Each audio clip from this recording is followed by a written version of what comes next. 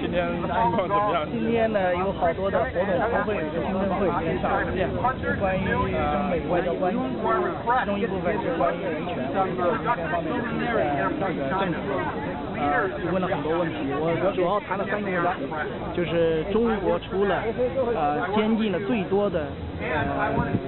良心犯在在监狱以外，用了三种新的办法在控制打压这个中国的良心良心人士、呃维权人士，还有一些这个上访人士。他们一个方式呢就是直接的暴力，很多人都是被被这个警察或警察雇的黑社会打。第二个呢就是软禁，啊，好多这个这个人都受到这个软禁的这个迫害。还有一个就是被强迫施工，说这三个是呃中共最近这个用的非常多的呃控制和迫害异议人士的办法。所以我也在里边讲的，也同时讲到这个中国政府如何对待他的人民。对国际社会是有非常重要的，是一个非常重要的问题，因为你在世界历史上，你不会看到一个这个世界强权，他对自己的老百姓不好，会对世界的其他的这个人民会好，他不会去这个履行他在国际上的责任，因此他是和这个美国的对外关系，对中国的关系是有关系的，所以美国必须重视中国的人权状况。那今天这么多人，呃。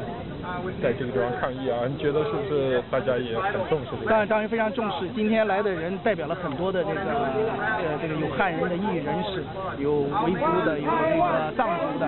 还有这个台湾的这个朋友。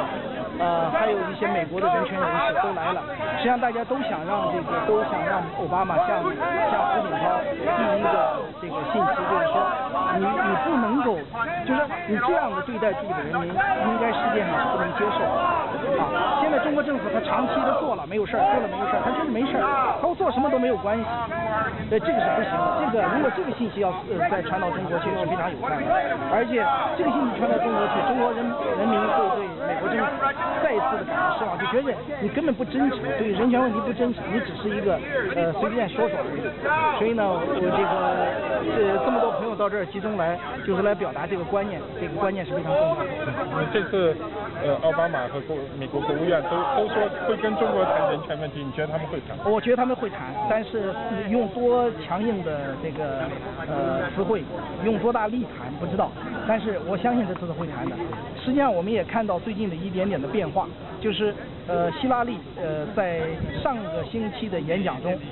第一次两年来第一次在中国大使的面前提到了几个良心犯的名字，刘晓波、高志胜、陈光诚，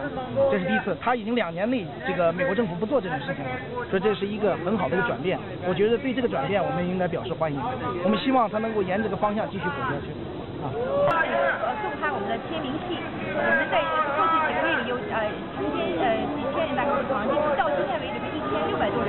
签名，要求他呢呃就是来给呃给美国的领导人提出要说呃考虑结束一化政策，而且禁止呃屠杀呃替还有在缅甸这样的情况。呃呃这是一个，第二个呢就是就特别就是呼吁他以父亲的身份来来设身处地的把他呃想呃为中国的这些人民。着想一下，呃，他当年进产之前曾经说过，他的他的第一个孩子刚出生的时候，他坐在车里，在对着孩子说梦想和希望。呃，试想一下，他的两个非常胖的孩子中，如果只有一个是女生生下来，另一个必须得处理，他会选择哪个？啊，再试着想一下，如果是他生在中面一胎化政策下面，而且特别喜欢，两个女孩都不可以可以活下来，呃，因为他们要把那个呃一胎化的位置留给下一个男孩，他会怎么想？啊，就是现在中国每天有三万五千个强制堕胎呃和那个被迫的这些呃三万五千个啊，就是他们被破碎，每天有五百个呃自杀。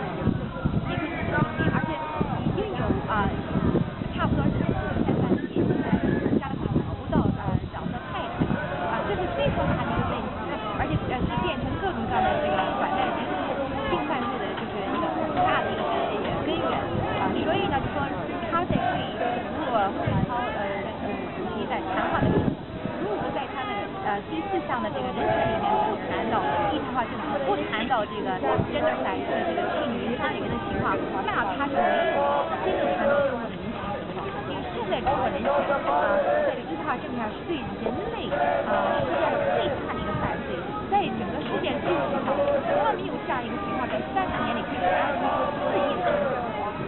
那你们的签名是已经送了？我们是刚刚在前面打开了，很长很长的一个时间。我们在网上就是在通过电脑已经送给他了，但是因为没有一个正式的呃正式的表示预告，所以今天有一个在这儿，现在就是。哎，不客气。我们也感谢那些支持我们的那些呃这些呃这些这些成员，感谢他们的支持，感谢他们跟我们在一起干的。中国人民会特别。Thank you, thank you very much, thank you, thank you, thank you. 好我还要到处去转。好的好的好的谢谢啊，谢谢。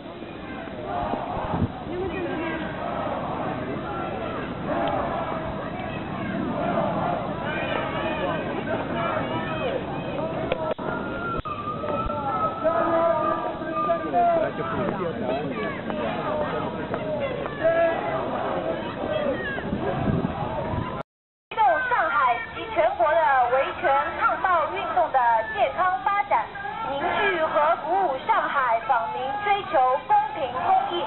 弘扬抗暴正气，有着积极的意义。今天也时逢中共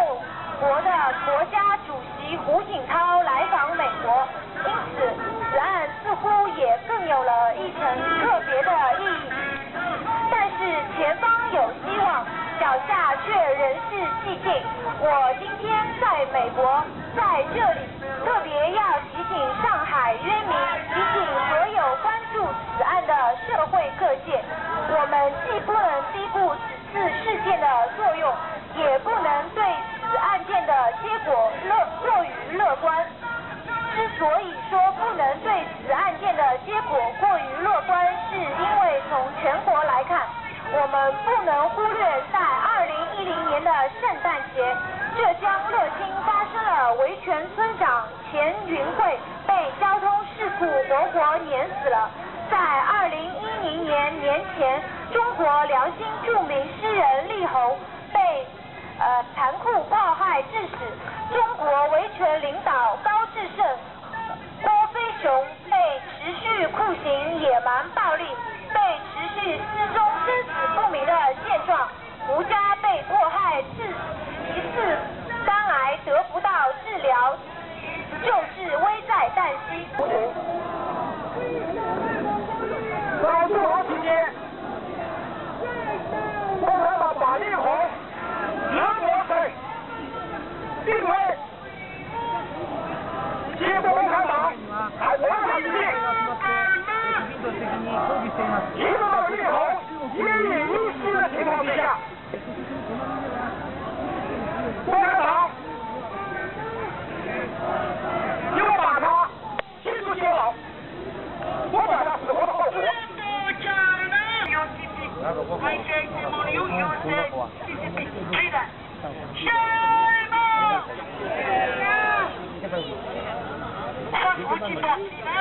Gracias.